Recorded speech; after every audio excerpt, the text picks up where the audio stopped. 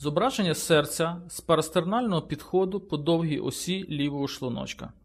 Ультразвукове обстеження серця ми починаємо із зображення, яке отримуємо з парастернального підходу, орієнтуючи площину сканування по довгій осі серця. Датчик ставимо перпендикулярно до передньої грудної стінки у третьому або четвертому міжреберях біля лівого краю грудини. А площина сканування повинна проходити по уявній лінії, яка з'єднує верхівку серця та середину правої ключиці. Обстеження можна проводити в положенні пацієнта на спині, але ліпше повернути його на лівий бік.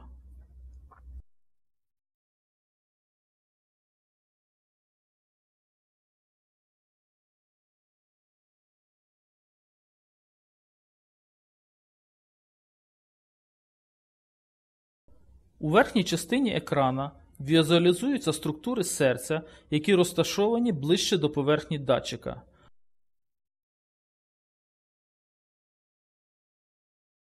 Отже, наверху ми отримуємо зображення передньої стінки правого шлуночка.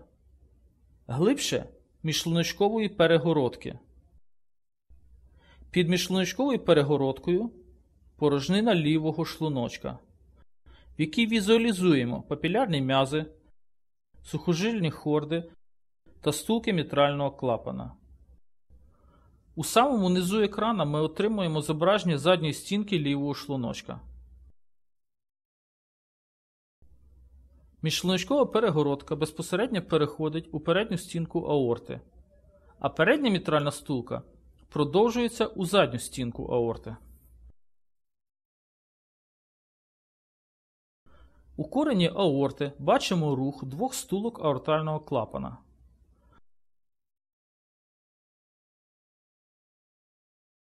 Та стулка, що знаходиться зверху, завжди є правою коронарною стулкою аортального клапана. Нижня стулка може бути як лівою коронарною, так і некоронарною. Це залежить від того, як буде нахилена площина сканування. У нормі рух стулок аортального клапана ми чітко не бачимо, оскільки вони є досить тонкими. У систолу стулки аортального клапана візуалізуються у вигляді двох паралельних коротких смужок, які прилягають до стінки аорти. У діастолу ми бачимо стулки у тому місці, де вони змикаються, тобто у просвіті кореня аорти по центру. Набагато чіткіше нам вдається побачити стулки аортального клапана у тому випадку, коли вони потовщені, а також у худих пацієнтів, у кого є добре акустичне вікно.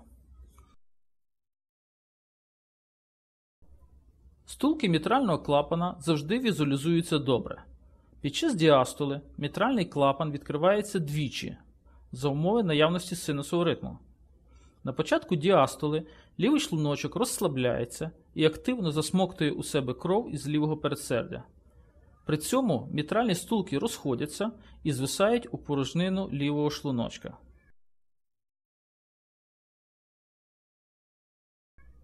Після завершення ранньодіастолічного наповнення шлуночка кров'ю мітральні стулки рухаються у напрямку до лівого передсердя і частково прикриваються, що ми називаємо ранньодіастолічним прикриттям мітральних стулок.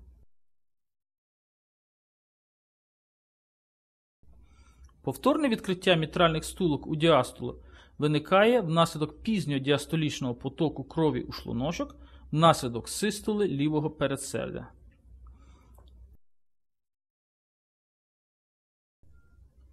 Амплітуда другого відкриття є меншою, ніж ранньодіастолічного відкриття.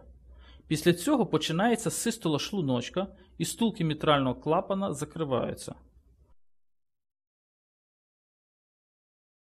Через дуже короткий проміжок часу після закриття мітрального клапана відбувається відкриття аортального клапана. Нормальний мітральний клапан повинен відкриватися як дверцята, тобто найбільшу амплітуду мають точки, розташовані на верхівці стулок.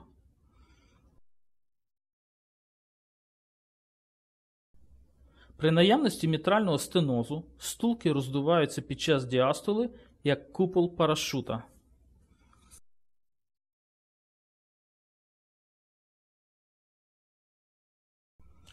Після оцінки структури та руху мітрального та ортального клапанів ми оцінюємо рух стінок серця. Лівий шлуночок за формою нагадує конус. У нормі стінки шлуночка при скороченні повинні рівномірно потовщуватись у всіх сегментах, і протилежні стінки повинні наближатись одна до одної.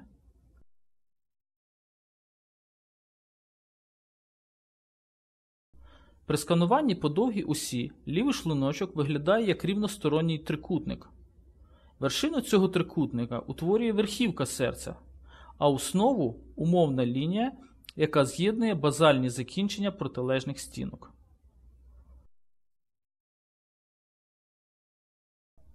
При скороченні стінки трикутника рівномірно потовщуються, вершина трикутника наближається до основи, а протилежні точки на ребрах цього трикутника наближаються до його осі на однакову віддаль, тобто рівномірно.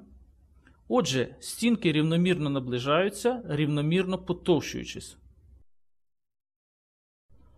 При парастернальному зображенні по довгій осі лівого шлуночка ми оцінюємо скорочення міжшлуночкової перегородки і задньої стінки лівого шлуночка.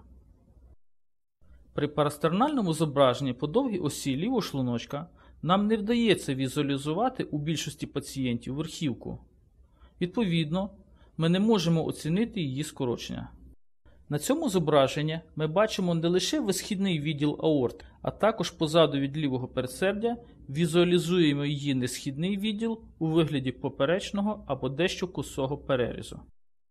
У передсердно-шлуночковій борозні часто вдається візуалізувати округлий утвір набагато меншого діаметра, ніж діаметр несхідної аорти.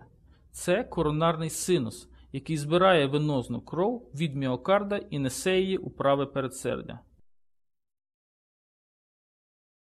У невеликого відсотка людей коронарний синус може бути значно ширшим, ніж у нормі, і тоді його можна сприйняти за несхідну аорту.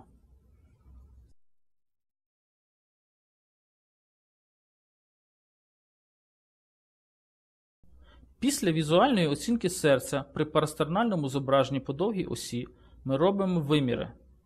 Отримання вимірів є дуже важливим етапом ультразвукового дослідження серця. Вони повинні проводитись правильно і однотипно, тоді це дає змогу стежити в динаміці за прогресуванням захворювання. Тепер М-спосіб рідко використовується для отримання вимірів. В усіх сучасних апаратах є функція кінопетлі, яка дає змогу отримати чітке зображення у кінці діастоли і на двовимірному зображенні зняти всі необхідні виміри. Виміри обох шлуночків і стінок повинні здійснюватись по лінії, яка є перпендикулярною до міжшлуночкової перегородки і проходить нижче від країв мітральних стулок, але вище від верхівок папілярних м'язів.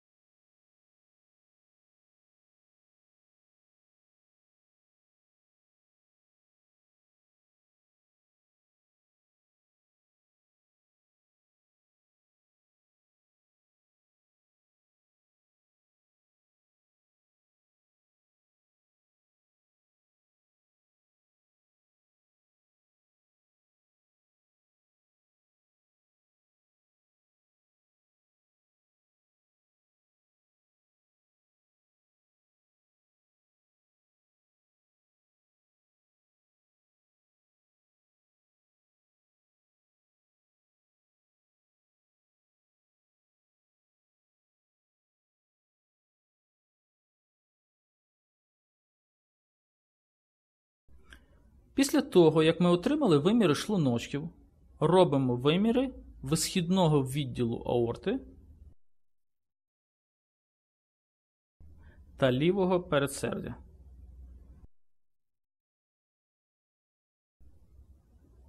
У випадку, коли хворий планується на операцію протезування аортального клапана, ми отримуємо також розмір аорти на рівні стулок аортального клапана щоб хірург міг підібрати відповідний розмір аортального протеза. На нинішній день більшість досвідчених ехокардіографістів не використовують М-спосіб для отримання розмірів серця і розрахунку фракції викиду лівого шлуночка. Розміри визначають на двомірному зображенні, а фракцію викиду оцінюють візуально. Наприклад, менше 30%, 30-40%, 40-50%, більше ніж 55%. На цьому етапі ми переходимо до оцінки клапанів за допомогою кольорової доплерографії. Задаємо розмір сектора кольорового доплера і розміщуємо його на двомірному зображенні таким чином, щоб він захопив мітральний і ортальний клапани, а також верхній відділ міжшлуночкової перегородки. У межах цього сектора ми маємо змогу оцінити характер і швидкість кровоплину. Справа на екрані представлена шкала кольору, яка нам показує, який колір буде відповідати за який напрямок кровоплину.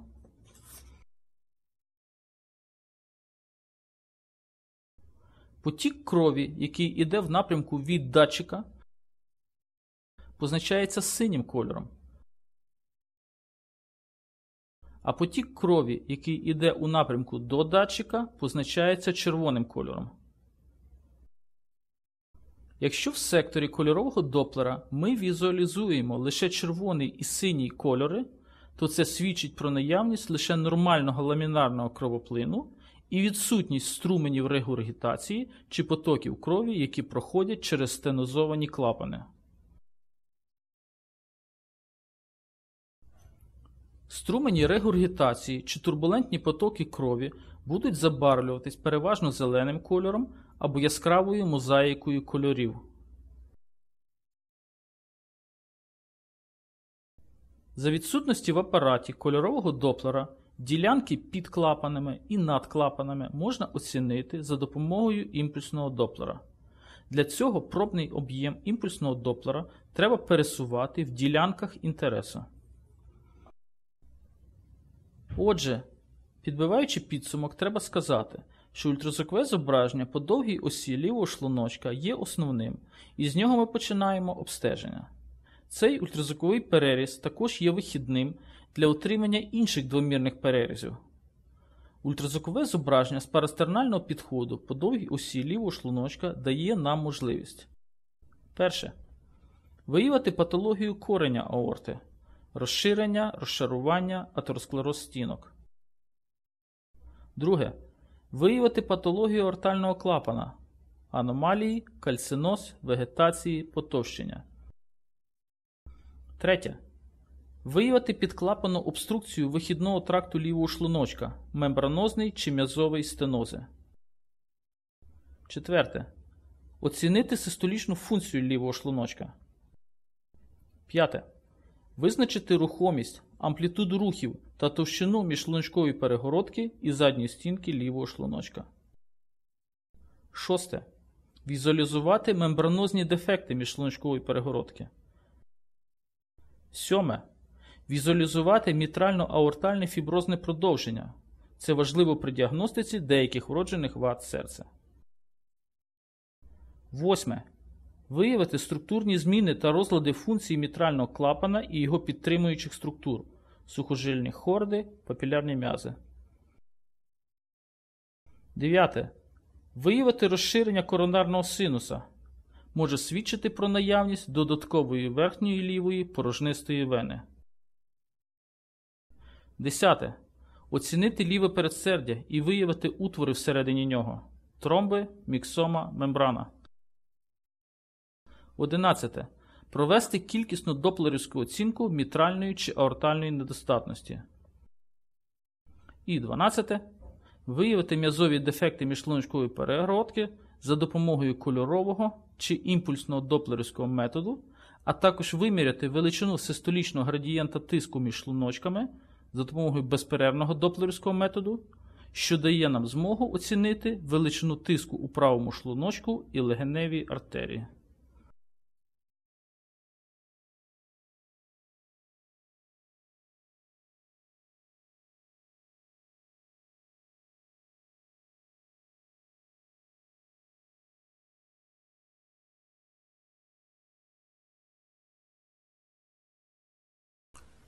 Зображення вихідного відділу правого шлуночка із парастернального підходу по довгій осі.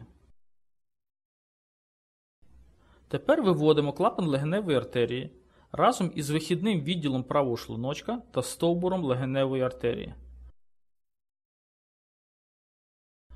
Після того, як ми отримали чітке зображення з парастернального підходу по довгій осі лівого шлуночка, датчик трохи повертаємо проти годинникової стрілки і нахиляємо під гострим кутом до грудної клітки, наче намагаючись заглянути під лівий плечовий суглоб. Іноді це зробити непросто. Полегшує це завдання положення пацієнта на лівому боці і затримка дихання на видиху.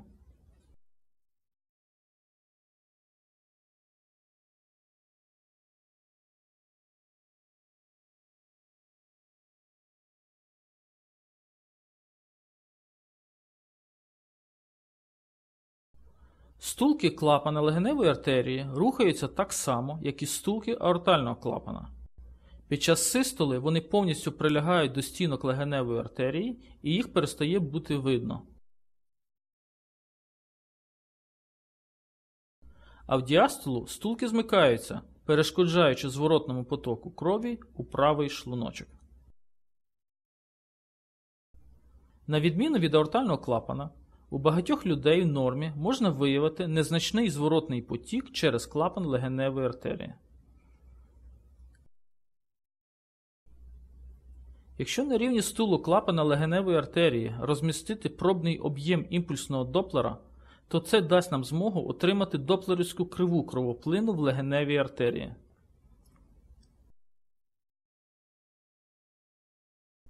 Доплерівська крива кровоплину в легеневій артерії дає нам змогу оцінити непрямим чином систолічний тиск легеневої артерії.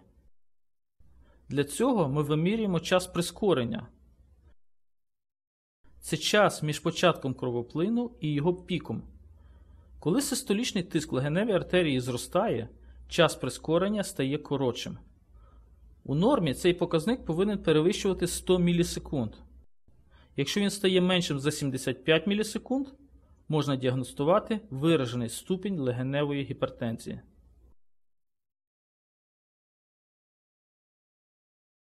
Це приклад пацієнта з вираженою легеневою гіпертензією.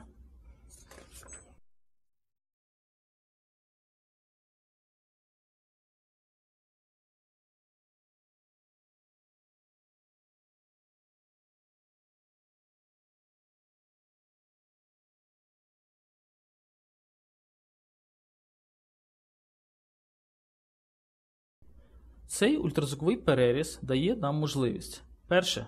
Оцінити вихідний тракт правого шлуночка. Друге. Оцінити рух і стан стулок клапана легеневої артерії. Третє. Візуалізувати проксимальний відділ легеневої артерії. Четверте. Оцінити наявність чи відсутність легеневої гіпертензії, а також її важкість за допомогою імпульсної доплерографії. І п'яте. Оцінити функцію клапана легеневої артерії за допомогою різних доплерівських методів.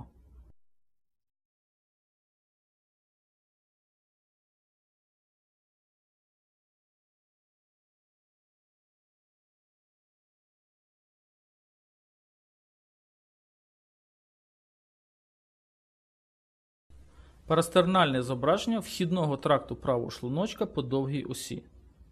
Після отримання зображення лівого шлуночка по довгій осі трохи повертаємо датчик за годинниковою стрілкою і нахиляємо його таким чином, ніби намагаємося заглянути під мечевидний відросток.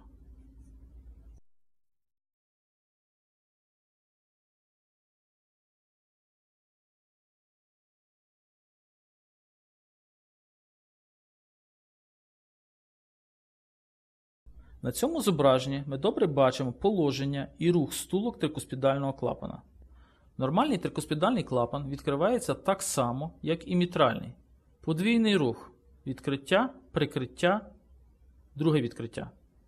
Нормальний клапан повинен відкриватись як дверцята, тобто найбільшу амплітуду мають точки, розміщені по вільному краю стулок. При стенозі стулки роздуваються під час діастоли як купол парашута. Куполовидний рух стулок класична ознака клапанного стенозу, яка добре візуалізується під час двомірного обстеження.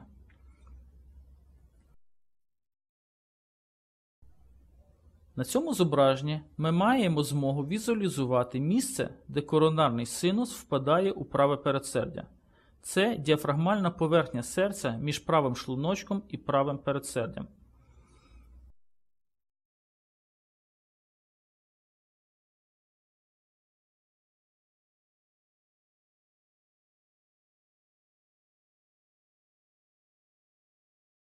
Зображення серця з парастернального підходу по короткій осі.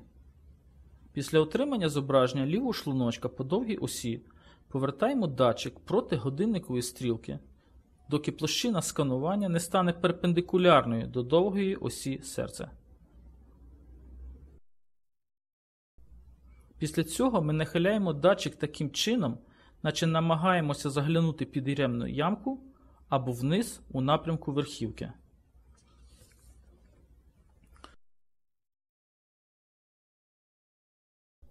Таким чином, ми можемо отримати чисельні перерізи лівого шлуночка по короткій осі. Якщо датчик залишити перпендикулярно до грудної стінки, а вісь сканування буде перпендикулярною до довгої осі лівого шлуночка, то отримуємо парастернальне зображення лівого шлуночка по короткій осі на рівні папілярних м'язів.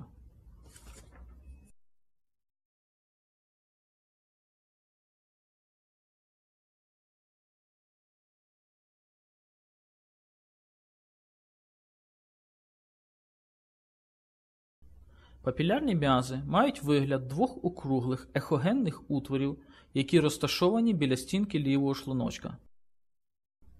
Їх положення в різних пацієнтів може бути різним. Один з папілярних м'язів є задньомедіальним, а інший передньолатеральним. Якщо після отримання попереднього зображення нахилити датчик до самої верхівки серця, то отримаємо переріз верхівки по короткій осі.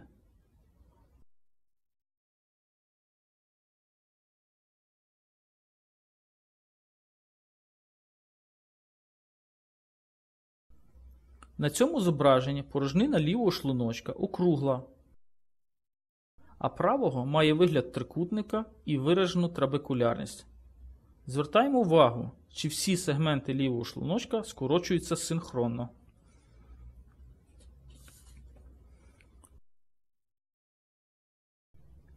Якщо після отримання поперечного перерізу серця на рівні папілярних м'язів трохи нахилити площину сканування до основи серця, то отримаємо переріз лівого шлуночка по короткій осі на рівні мітрального клапана.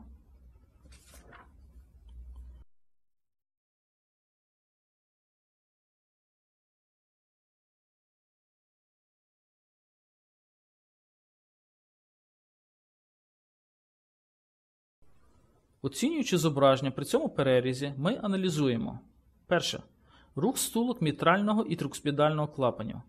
Під час діастоли вони розходяться у протилежних напрямках, а під час систоли рухаються у напрямку одна до одної. Друге. Скоротливість різних сегментів лівого шлуночка. В нормі усі сегменти повинні скорочуватись, наближаючись до центру на однакову віддаль, одночасно потовщуючись. Третє. Оцінити рух міжшлуночкової перегородки. У нормі вона повинна приймати участь у систолі лівого шлуночка, тобто при скороченні наближатись до центра.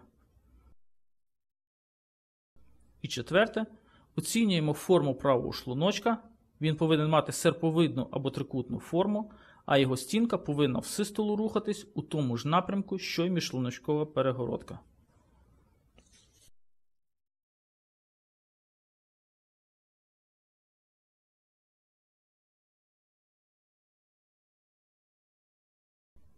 Якщо ще більше нахилити площину сканування до основи серця, то отримаємо переріз на рівні аортального клапана.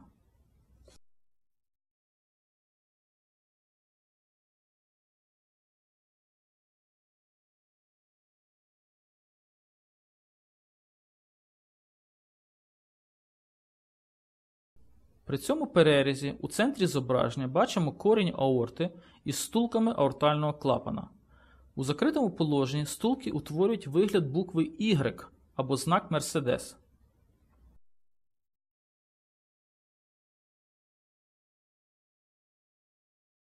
Права коронарна стулка розміщена зверху і біля вихідного тракту правого шлуночка. Некоронарна стулка внизу і справа біля правого передсердя.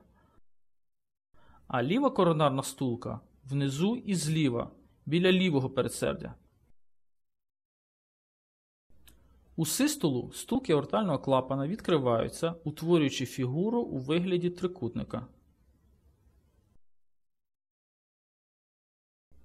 Це ще один переріз, на якому ми можемо оцінити вихідний відділ правого шлуночка, який проходить дугою спереду від кільця аорти. На цьому зображенні ми добре бачимо початковий відділ легеневої артерії і стулки клапана легеневої артерії. На цьому зображенні можна легко оцінити структуру і рух стулок клапана легеневої артерії, а також оцінити їх за допомогою доплерівських методів. Це зображення є важливим для діагностики вроджених вад аортального клапана, наприклад, двостулкового аортального клапана, що є найчастішою вродженою вадою серця. У худих пацієнтів, які мають добре акустичне вікно, іноді можна візуалізувати гирло і основний стовбур лівої коронарної артерії. Якщо ще більше нахилити площину сканування до основи серця, то отримаємо переріз на рівні біфуркації легеневої артерії.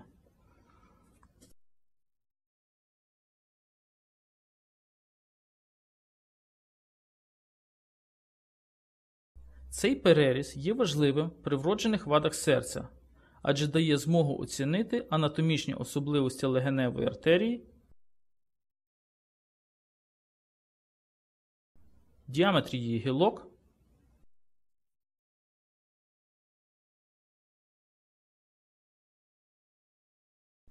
а також провести доплерівську оцінку кровоплину.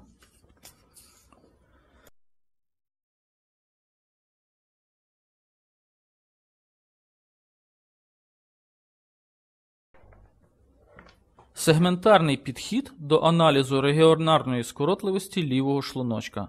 Зображення по короткій осі лівого шлуночка.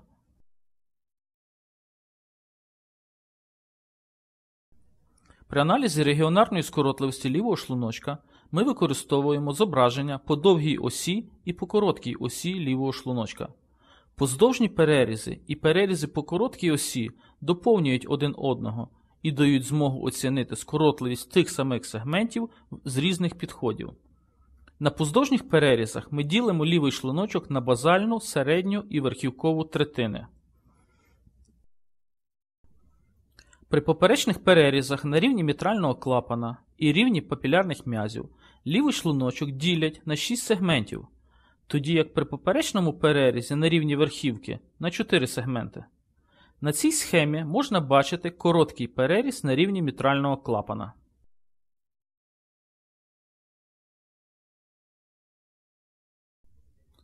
На цьому зображенні ми бачимо 6 сегментів базальної третини лівого шлуночка. Передній, боковий, задній, нижній, а також нижньобазальний перегородковий і передньобазальний перегородковий.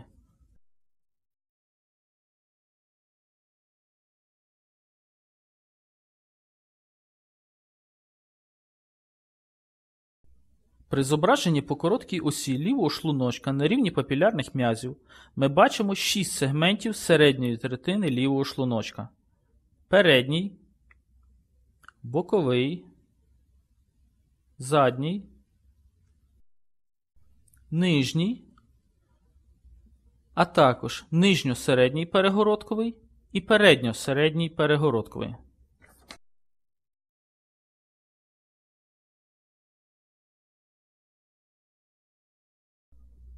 При зображенні по короткій осі лівого шлуночка на рівні верхівки ми бачимо чотири сегменти верхівкової третини лівого шлуночка. Перегородковий, передній, боковий і нижній. Скоротливість усіх 16 сегментів ми оцінюємо як з поздовжніх перерізів, так і з перерізів по короткій осі. При парастернальному зображенні по довгій осі лівого шлуночка у багатьох хворих не вдається візуалізувати верхівкову третину лівого шлуночка, тому її ми оцінюємо з верхівкового дво- та чотирикамерних зображень.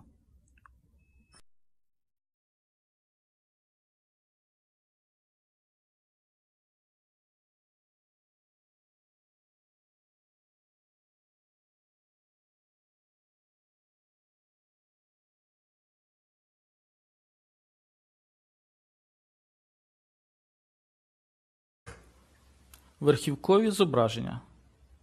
Розміщуємо датчик на верхівці серця і орієнтуємо площину сканування таким чином, щоб отримати переріз через усі чотири камери серця.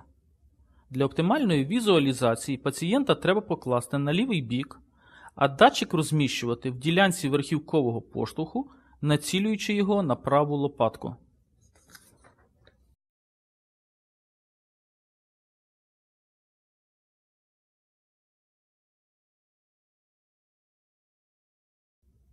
Традиційно ми отримуємо зображення, коли серце знаходиться верхівкою догори. Ліві відділи знаходяться зліва, а праві справа. Але можна повернути датчик на 180 градусів і отримати ліві відділи справа. При чотирикамерному зображенні правий шлуночок відрізняється від лівого за такими ознаками. Перегородкова стулка трикоспідального клапана прикріплюється до перегородки трохи нижче, ближче до верхівки, ніж передня стулка мітрального клапана.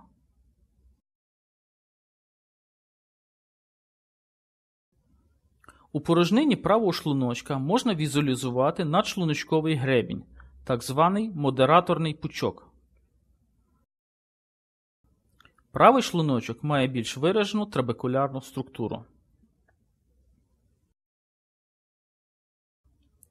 Нижче від лівого передсердя можна візуалізувати несхідний відділ аорти по короткій осі, а також легеневі вени, які впадають у ліве передсердя.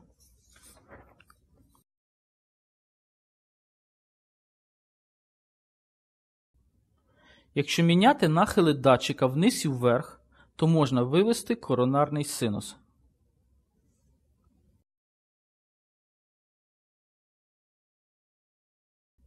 Треба пам'ятати, що при цьому положенні датчика ультразвукові промені йдуть паралельно до міжшлуночкової та міжпередсердної перегородок.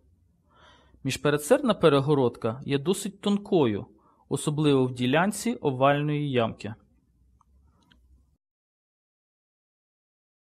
Тому з верхівкового доступу може здаватись, що центральна частина міжпередсердної перегородки відсутня.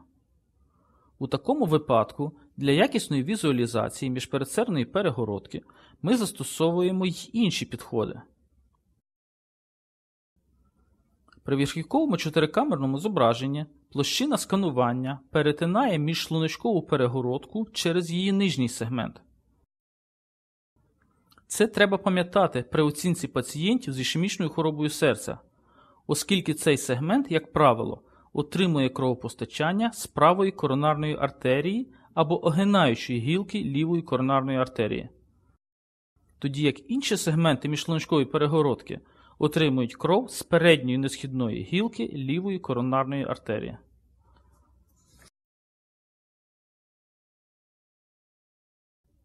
При обстеженні пацієнта з верхівкового підходу ми оцінюємо рівномірність скорочення усіх стінок, а також структуру і рух мітрального і трикоспідального клапанів. Цей підхід є ідеальним для доплерівської оцінки мітрального і трикоспідального клапанів, адже промінь імпульсного і безперервного доплера є паралельним кровоплину. При імпульсній доплерографії ми спочатку розміщуємо пробний об'єм в ділянці вільних країв мітральних стулок і реєструємо криву трансмітрального потоку. Ця крива дає нам змогу проводити оцінку діастолічної функції лівого шлуночка.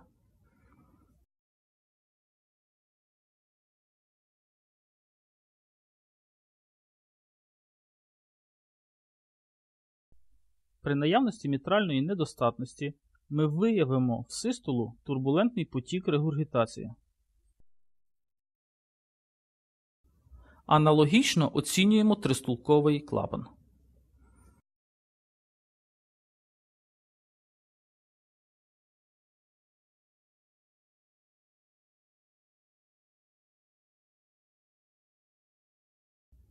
Якщо вдалося виявити хоча б мінімальну регургітацію на тристулковому клапані, застосовуємо безперервний доплер для визначення систолічного градієнта тиску через трикуспідальний клапан. Цей систолічний градієнт тиску існує між правим шлуночком і правим передсердям при наявності тристулкової недостатності. Градієнт тиску можна визначити, використавши пікову швидкість струменя регургітації. Знаючи градієнт тиску через трикуспідальний клапан і додавши до нього тиск у правому передсерді, можна визначити систолічний тиск у правому шлуночку і легеневій артерії. Після отримання чотирикамерного зображення ми нахиляємо датчик у напрямку ближче до грудини і отримуємо так зване п'ятикамерне зображення серця. Ліве передсердя, лівий шлуночок, правий шлуночок, праве передсердя, аорта. Крім чотирьох камер серця, ми отримуємо ще так звану п'яту камеру висхідний відділ аорти.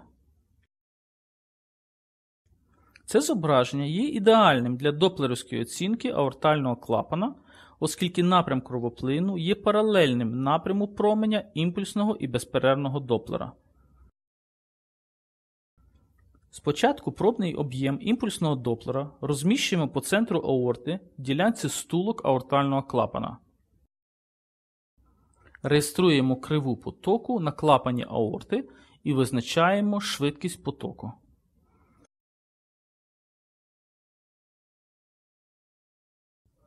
У випадку наявності аортальної недостатності ми проводимо картування величини регургітації пробним об'ємом імпульсного доплера або проводимо оцінку із застосуванням кольорового доплера. Якщо після отримання чотирикамерного зображення датчик повертати за годинниковою стрілкою, то отримаємо верхівкове зображення лівого шлуночка по довгій осі.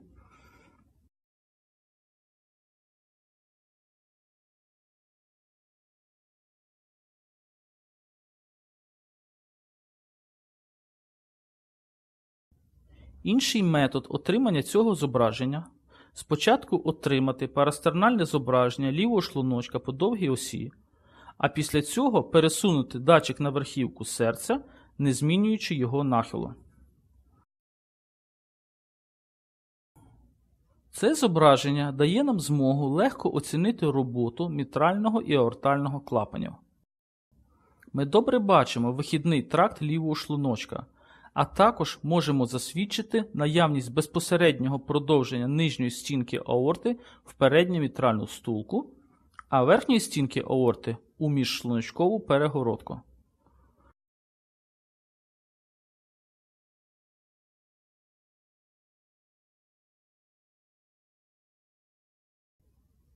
При такій орієнтації площини сканування ми дістаємо переріз через передню частину міжшлуночкової перегородки яка отримує кровопостачання від передньої несхідної гілки лівої коронарної артерії. Зліва ми бачимо задню бокову стінку лівого шлуночка, яка отримує кров від огинаючої гілки лівої коронарної артерії або від правої коронарної артерії. Якщо після отримання верхівкового зображення по довгій осі датчик повернути трохи більше за годинниковою стрілкою, а площину сканування нахилити дещо латерально, то отримаємо верхівкове двокамерне зображення. Бачимо ліве передсердя,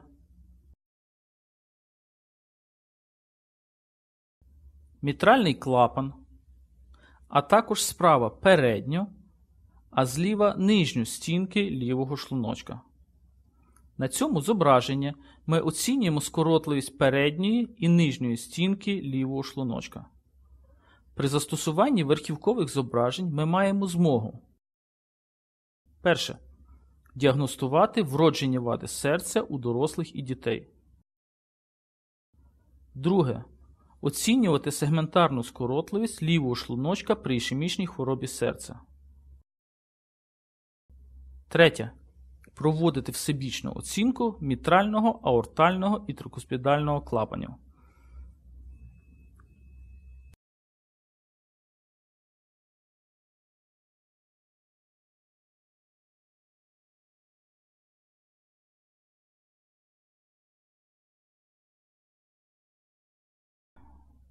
Субкостальні підходи.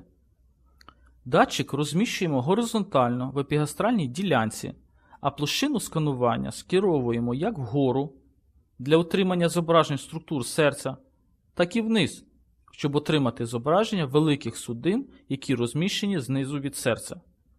Цими судинами є черевна аорта і нижня порожниста вена.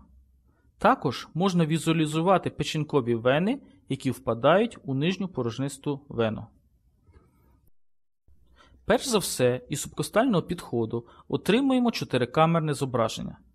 Для цього площину сканування розміщуємо горизонтально і перпендикулярно до осі пацієнта, а після цього нахиляємо її догори. Коли кут між датчиком і фронтальною площиною буде становити 30-40 градусів, то ми побачимо на екрані 4 камери серця. Верхівки з цього доступу, як правило, ми не бачимо. Нахиляючи площину сканування ще більше у напрямку грудини, отримуємо ще й зображення аорти, так зване субкостальне п'ятикамерне зображення.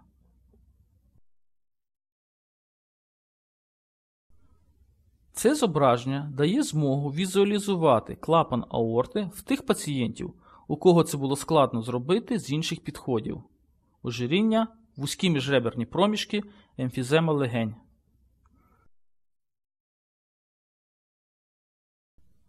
При субкостальному підході ультразвукові промені уже не йдуть паралельно до міжпередсердної перегородки, як це відбувається при верхівковому підході. При субкостальному чотирикамерному зображенні напрямок ультразвукових променів є майже перпендикулярним до міжпередсердної перегородки. Тому при цьому підході найлегше візуалізувати міжпередсердну перегородку і діагностувати її дефекти.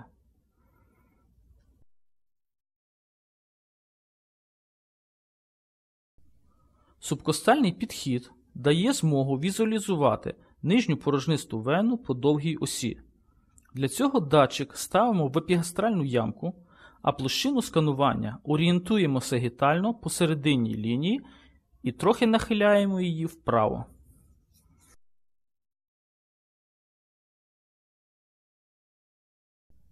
Нижня порожниста вена візуалізується ззаду від печінки. Можна побачити місце її злиття з правим передсердям і іноді євстахівий клапан.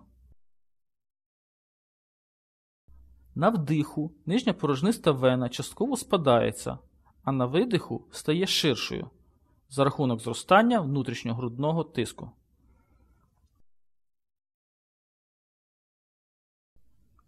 Якщо повернути датчик за годинниковою стрілкою і нахилити його так, ніби намагаючись заглянути під праву лопатку, можна візуалізувати місце, де печінкові вени зливаються з нижньою порожнистою веною. Печінкові вени не розміщені в одній площині, тому одночасно візуалізувати усі три вени не вдається.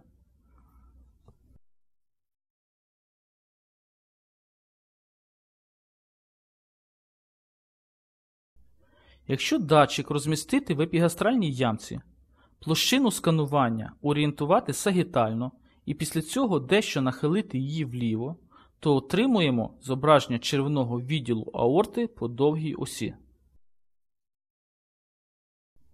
Бачимо характерну пульсацію аорти, а спереду від неї візуалізуємо верхню брижову артерію, яка, відгалузившись від аорти, відразу йде вниз майже паралельно до аорти.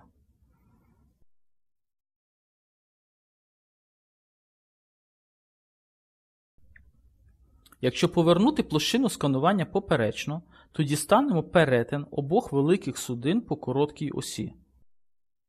Нижня порожниста вена розміщується справа від хребта, має близьку до трикутника форму і частково спадається на вдиху. Аорта знаходиться зліва від хребта, має вигляд кільця і характерну пульсацію.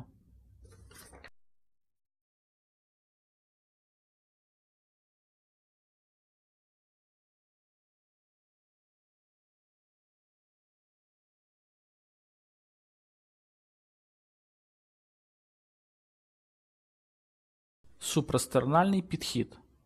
Розміщуємо датчик у яремній ямці, а площину сканування скеровуємо вниз і паралельно ходу аорти, тобто справа спереду і наліво назад. Корисний маневр підкласти пацієнту під шию подушку, що відзакинув голову назад.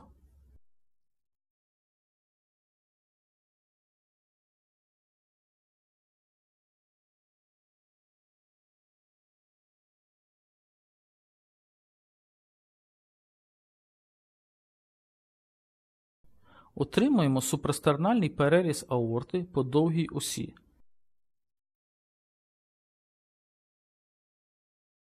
Зліва на екрані знаходиться висхідний відділ грудної аорти. Справа початкова частина несхідного відділу аорти. Під горизонтальною частиною дуги аорти бачимо поперечний переріз правої гілки легеневої артерії. У багатьох пацієнтів можна побачити великі артерії, що відходять від аорти. Плече-головний стовбур, ліва загальна сонна і ліва підключична артерія. Якщо площину сканування нахилити трохи допереду і датчик повернути дещо за годинниковою стрілкою, то можна візуалізувати весь висхідний відділ аорти включно з аортальним клапаном. Якщо після отримання перерізу аорти по довгій осі повертати датчик за годинниковою стрілкою, то отримаємо зображення поперечного перерізу дуги аорти по короткій осі.